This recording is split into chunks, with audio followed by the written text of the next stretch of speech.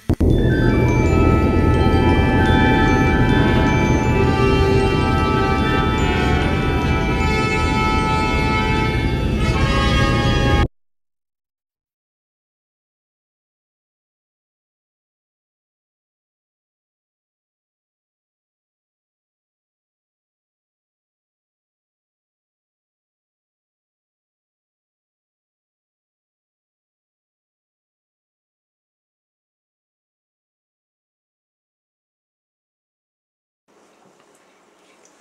Well, greetings once again, my friends.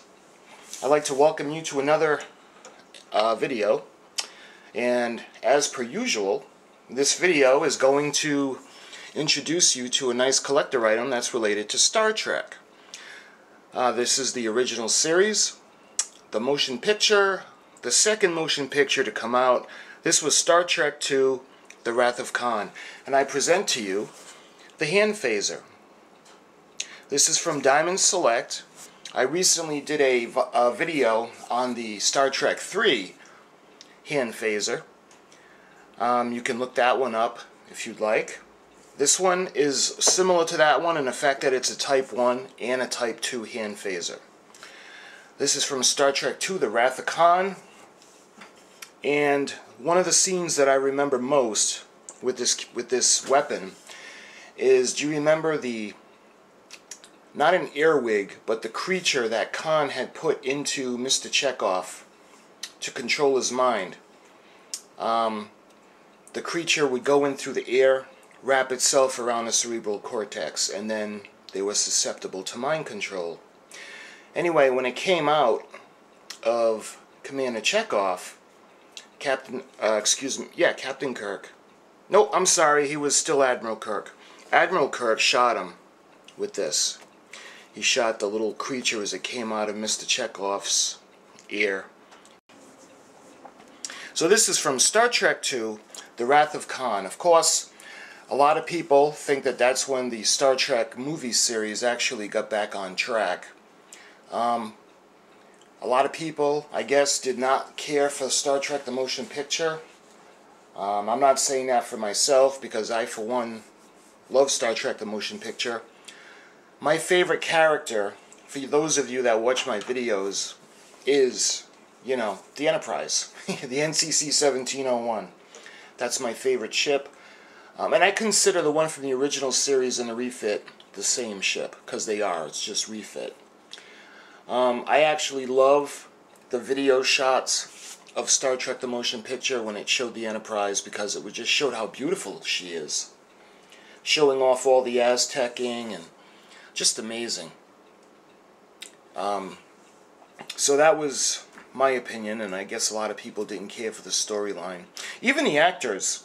Um, Leonard Nimoy said that the focus was too much on the ship. But I, for one, love the ship, so I like the movie. Anyway, I'm going to stop rambling. Star Trek II, The Wrath of Khan, kind of picks up where Star Trek The Motion Picture leaves off. At the end of Star Trek The Motion Picture, you know, Voyager and is gone, Ilia and Decker kind of merge and go with it. So now they got the Enterprise and she's kind of being updated and she's got a crew of uh, trainees aboard. So they're going to, you know, show her, well, show her new crew the Enterprise, the workings, and all the making of the ship. So that being said, Admiral Kirk has a son. His name is David and the mother is Dr. Carol Marcus. Well, Carol Marcus and David are scientists, and they're working on a project called Genesis. Now, what they want Genesis to be is the creation of life. Totally, literally, the word and the meaning of Genesis. They're talking about taking a moon or a dead form, launching the Genesis device, and it changes the matrix of the material that it comes in contact with, so it makes it living. That could obviously be seen as a weapon because when you change the matrix, you change whatever it is that you're using the Genesis device on, whether it's an asteroid or a moon. And it changes everything, whether it destroys it or just changes the molecular structure Either way, whatever was there is gone forever. Now, the Klingons had caught wind of this device and they had won it. They had bought it off the black market. Commander Kruge is the one that's in command of the Klingon uh, bird of prey, and he purchases from a freighter the uh, Genesis information.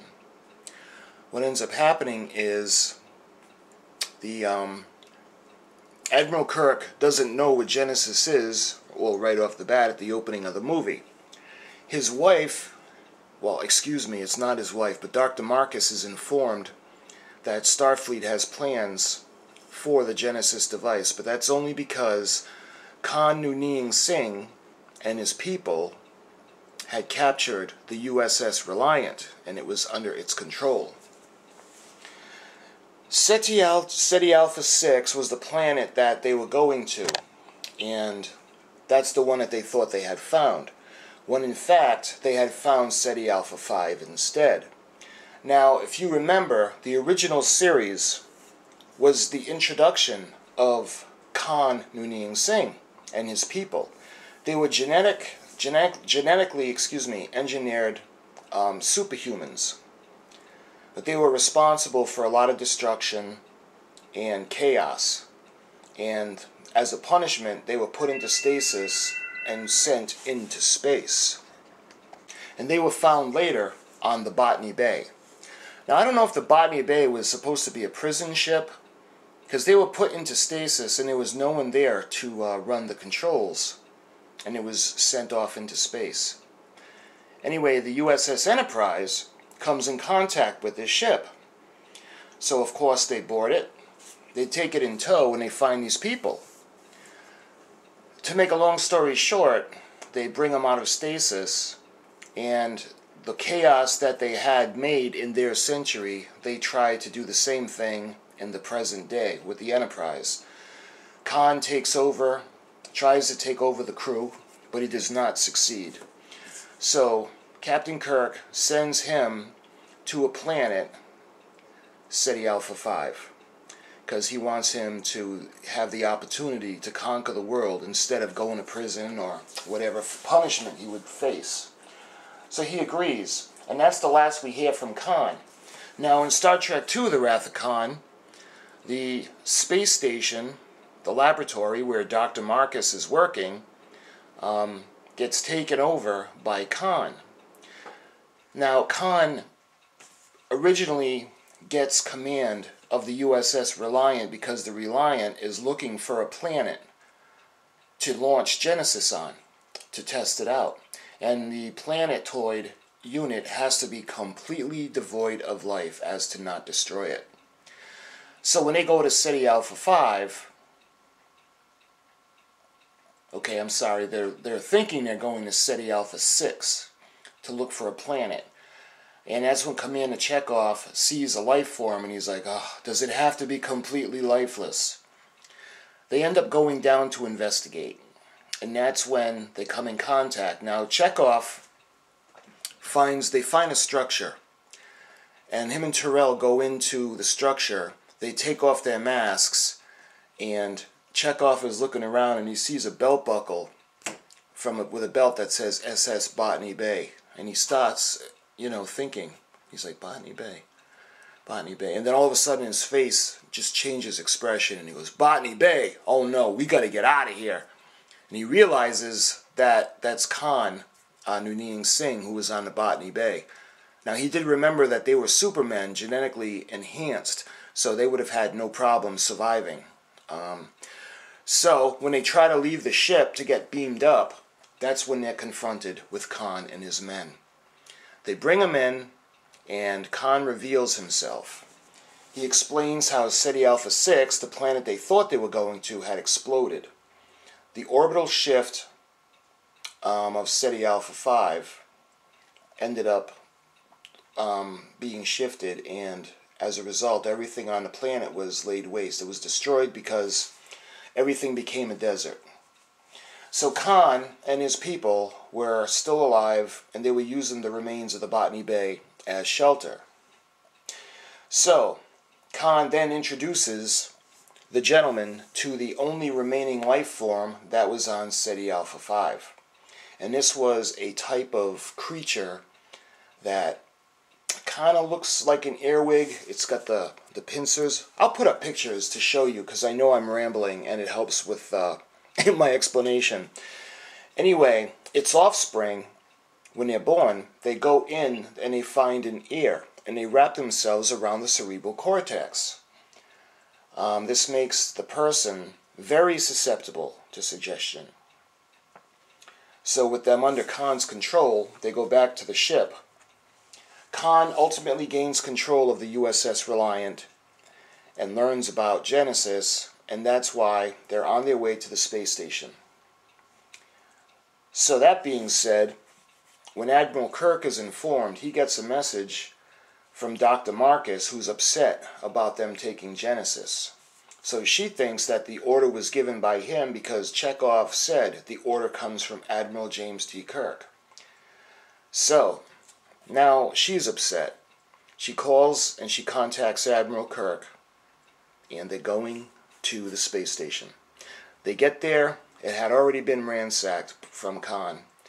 They're not sure where to go, and what ends up happening is the Reliant, under the control of Khan, moves in and they surprise attack the Enterprise.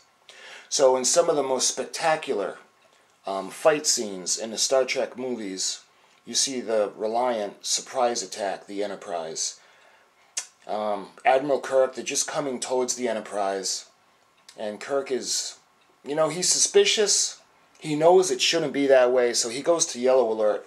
But by then, it's too late because the Reliant raises her shields, locks weapons, and by the time Mr. Spock tells him what the Reliant is doing, they fired on the Enterprise. Ultimately, Genesis um, is taken and it's on the USS Reliant. Once the Reliant and Khan are defeated, he puts down the auto-destruct, the countdown, and Genesis ultimately explodes, destroying the Reliant, the crew, but in its destruction, it creates a new planet. That planet would go on to be the burial place for Mr. Spock, and that planet would play a big role in the next feature film, Star Trek III The Search for Spock. Again, I'm sorry for rambling. Um, there was a lot of information to give to you, and I'm not the best narrator. so, I want to present to you the phaser. The Star Trek II The Wrath phaser from Diamond Select. This box is similar to the one that I showed you with the Star Trek 3. It's got the clear area where you can see, but this one does not have the try-me, whereas the other one did. You can see it's got a beautiful depiction of the Enterprise, the refit, our beloved ship. It's got Admiral Kirk on the front. Um, the side just basically says 2-in-1 design, Type 1 mini hand phaser separates from the Type 2 phaser and this is collector number 35309399195. The other side, Diamond Select, and it's got the Delta logo. And on the back, it shows you other items that Diamond Select offers. Let's see, what do I have? I don't have the role play. Um, I do have the Enterprise D. That'll be a coming an upcoming video. And on the back, it shows the phaser as a type 1, and the phaser as a type 2. And it's got some information. It is removable type 1 hand phaser. Separates from type 2 phaser. It separates, the pistol separates, and has unique sound effects. It is lighted as well. Multiple phaser settings include heat, stun, kill, disintegrate, and overload. I do believe that the Star Trek 3 phaser had the similar settings. In 1965, Gene Roddenberry approached NBC with a show he described as a wagon train to the stars. What he accomplished was the beginning and beyond, even for his dreams. The phenomenon, spanning 40 years as of this, five long-running series and 10 feature films, the fictional voyages of the USS Enterprise may have spanned the galaxy but Roddenberry's idea moved the entire world. Throughout their advantages and adventures, The phaser served the Enterprise captain and crew as their only defense in its vast unknown. The phaser made its first appearance in Star Trek II The Wrath of Khan and also appeared in the sequel Star Trek III The Search for Spock. But remember, The Search for Spock, it was totally different model than this one. While modifications were made over the course of the films and many copies were used for background action, this model recreates the prop in every detail from the authentic sounds and light effects to the never before seen detachable Type 1 phaser. So, okay, that being said, let's go ahead and we'll take it out of the box. Up. It's got the plastic insert.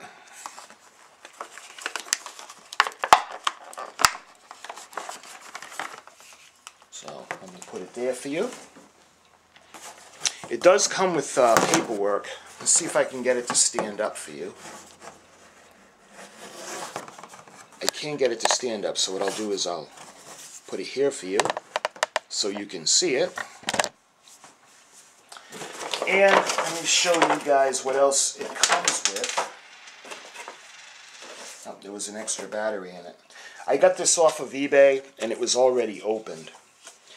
Comes with a brochure and it shows you the classic phaser and that's also the type 1 and type 2 I did do a video on the hand phaser if you want to check that out on my channel and it's got different items that's pretty cool the Borg Chekov. it's got the it looks like a Mugato yep it's a Mugato some Klingons other things you can purchase um, the characters. I'm not really into the characters. Mostly with me, I like the ships.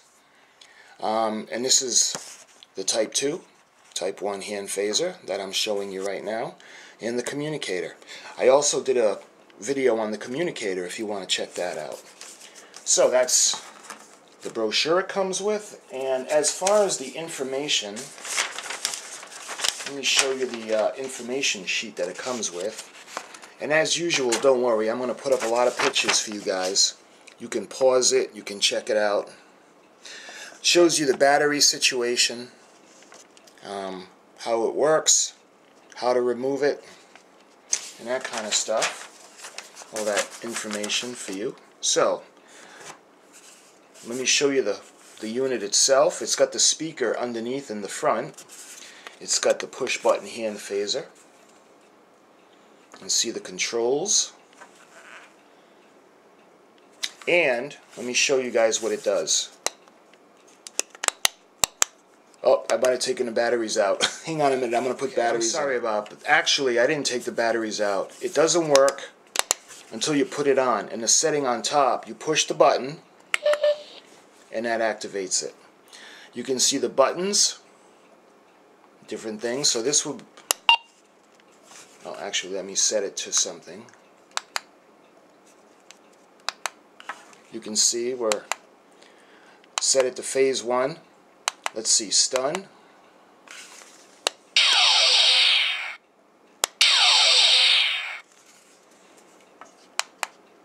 Set it to type 2. Actually, the first one was probably heat. This one is type 2. This one will be stun. So let's stun you guys. Now we'll set it to kill.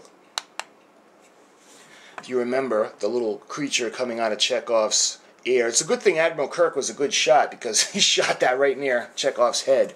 Anyway, let's shoot the creature right now. As you can see, the lights increase in intensity. And the last setting would be for the destruct. So, you can see the difference in the firing, the strength. So, let me show you guys what it looks like when it's a Type 1 taken off.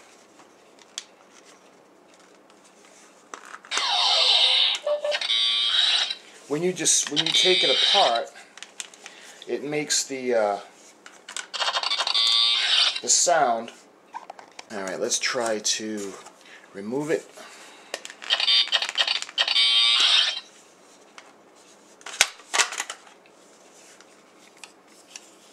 Can see the speaker section.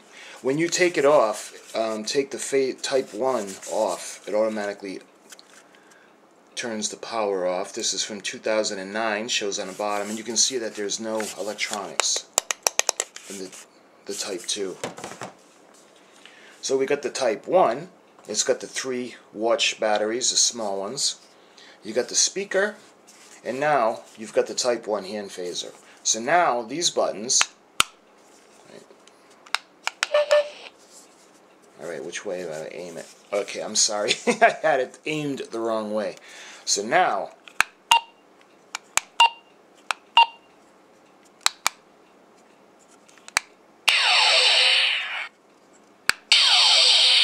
again with the settings, it gets stronger. You get a little bit stronger in settings, fire, and the intensity goes up. Finally, when you get to the totally disintegrate, And I think that would be the destruct or the overload.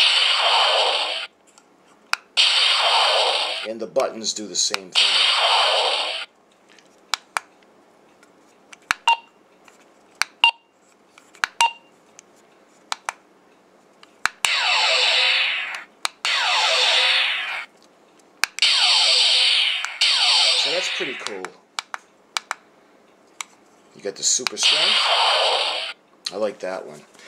When you want to reattach it, you can see where the pins lock into place. And it goes, and it's like a magnet that actually holds it into place. And it makes the sound effect, which is pretty cool, when you de uh, detach. Of course, the power is going to be on. And then when you detach it, and then you put it back on, and you get those pretty cool sound effects. And once you take it off and put it back on, it depowers it, it shuts it off. So in order to do it, you push the button,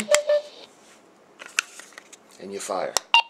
Oh, nope, actually you push the button, and you put the settings. Let's set it to, let's set it to kill.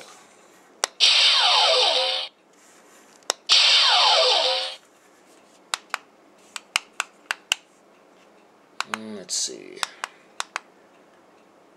It's too bad it didn't do like when it's a Type 1 with the uh, the cool effects, the way the lights move. Oh, there we go. Okay, so that's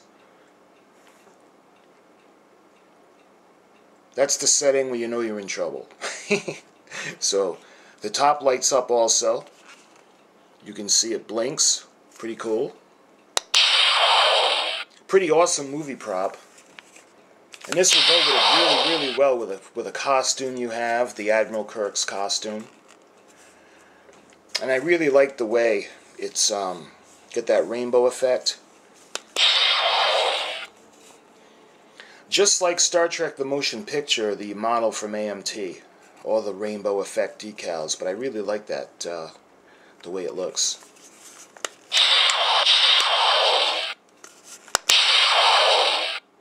So my friends, this is the Star Trek II, The Wrath of Khan hand phaser from Diamond Select that also can turn into a hand 1, uh, excuse me, a type 1 hand phaser.